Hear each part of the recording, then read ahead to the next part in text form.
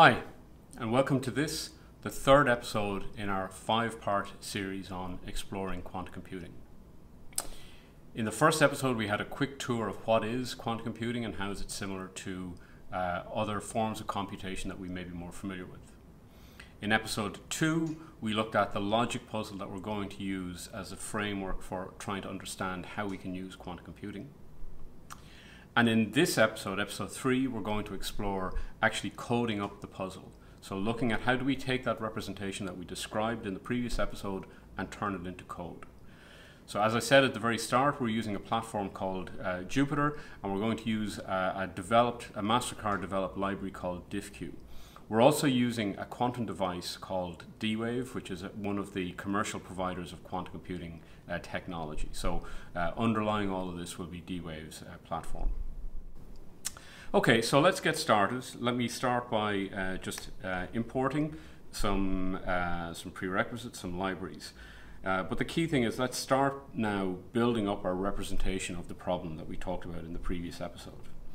So the first thing that we're going to do here is to turn our uh, various names of our children, of our t-shirts, etc., colors into, uh, into numbers. So our children are going to be numbered 0 through 4, and likewise our five colors 0 through 4.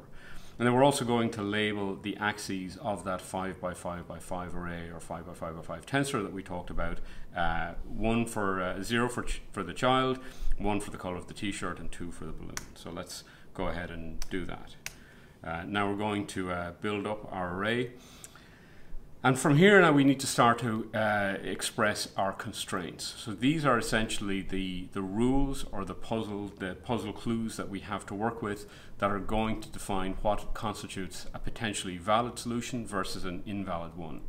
So we're going to start by uh, implementing our global constraints. So these are uh, going to be expressed as sums across the various slices of our tensor or of our array that we're interested in. So for example, the first constraint that we're interested in is the idea that any single uh, combination of a child, t-shirt and a, a, color can only have one uh, allocation in that. So for example, let's look at uh, our diagram here. What we can see here on the left is uh, that we have given the allocation that we've seen before. So child Dan has t-shirt orange and uh, uh, the yellow balloon. Um, and you can see when we sum across all of these entries in this particular slice of the array, they sum to one. So that is a potentially valid solution. We see on the right hand here, we have, uh, we have uh, a sum that comes to two. And here we have child Carol has been allocated the red t-shirt and the yellow balloon, and Dan has been allocated the orange t-shirt, but also the yellow balloon. So we know that this is going to be invalid because essentially the same balloon has been allocated to two different children. Uh, and we know this is invalid because our sum here is 2. So essentially, what we want to do is to build a series of constraints looking across different slices of our tensor and ensuring that these sums always come to 1. Okay, so that's the kind of the intuition. Let's look at how we're going to do that in code. So let me go ahead and run that and then we'll look at this briefly. So here we're going to use our diffq library and we have a, um, a, a, function call or a method call called join constraints. So here we're going to build up a range of constraints over time uh, until we have the entire problem expressed. and the key thing is this uh, sum equals one um, uh, function that we're a constraint that we're going to use. And we're applying that across the different slices of the tensor and one for each child. So that's kind of what's going on here. We're essentially building up uh, a range of these rules uh, or these constraints to ensure that the, the rule that we want to enforce, which is that each uh, combination of children, balloon, and, uh, uh, and t-shirt is unique, that's essentially what this piece of code is doing for us. Okay, and if you recall back from the original setup, we also have another constraint. That constraint tells us that the color of a child's t-shirt can't be the same as a child's balloon. Every child took a different color balloon to the t-shirt that they were wearing.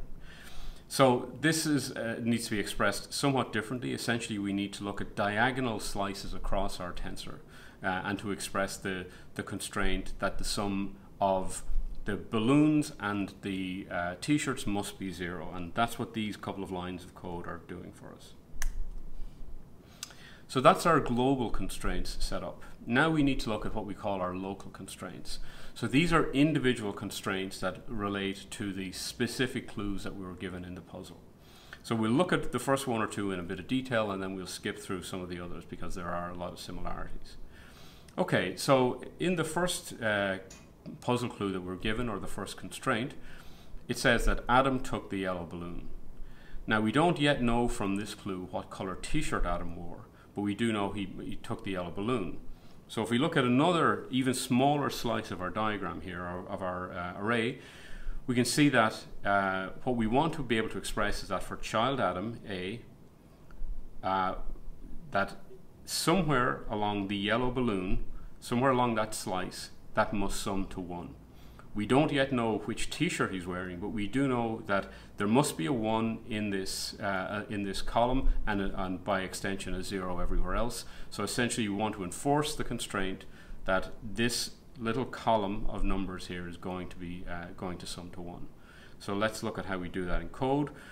Uh, and again, it's not dissimilar to the previous constraints that we've seen. So we're going to join constraints again. So we're building up these constraints over time. We're saying sum equals to 1, and then the slice of our tensor, where we're indexing it by child Adam and by balloon yellow, that must sum to 1. So we're going to go ahead and add that to our set of constraints.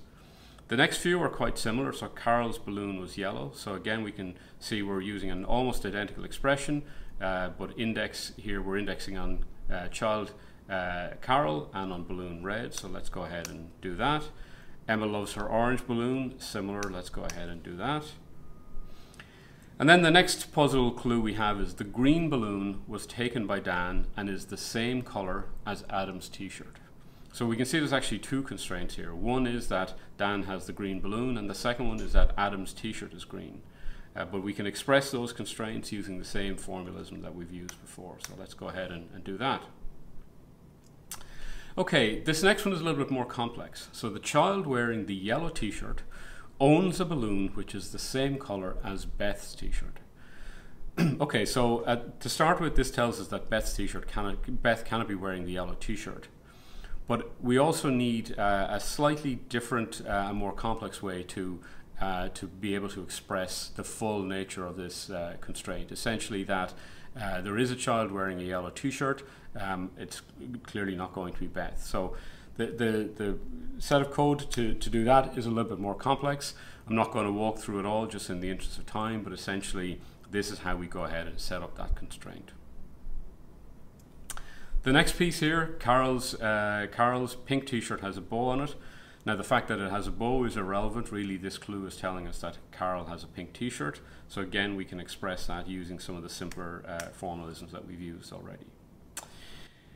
Okay, so that is our problem set up now. We've worked through all of the constraints, both the global constraints and the local constraints, and we're now ready to actually do this on a quantum computer. Everything up to now is just running locally on my laptop. There's no quantum happening anywhere. But now we're finally ready to start to uh, get this problem ready for a quantum computer. So please join me in the next episode where we'll finalize the preparation of the problem, submit it to a quantum computer, and then ultimately take a look at the results. So I look forward to seeing you in the next episode.